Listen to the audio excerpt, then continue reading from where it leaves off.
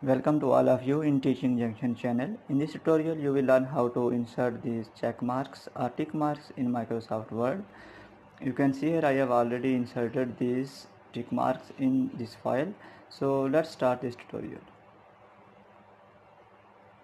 Firstly select the location where you want to insert these tick marks. For example I want to insert these tick marks here. so click here you can see here I have clicked here and uh, this is blinking now. Go to insert and in insert go to the option of symbols. In symbols you will find the option of more symbols. Now you will fi find two tabs. One first one is symbols and special one is special character.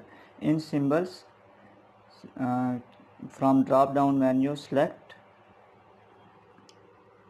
Wingdings. This one. And when you select Wingdings you can see here different options appeared here which include Caesar and others. And in character code write 252 and you can see here uh, tick marks appeared here and it is selected. Click on insert and close tick mark is inserted now.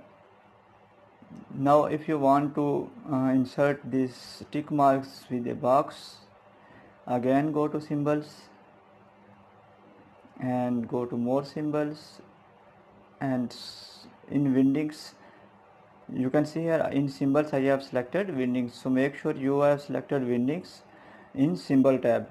Then scroll down and you will find the option this one. Check one. Uh, click on it.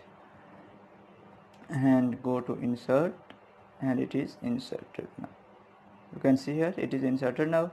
If you go to home tab and select this you can even change its color. For example I will change it to red. Click on it. You can see here its color is changed. So thanks for watching this tutorial. Good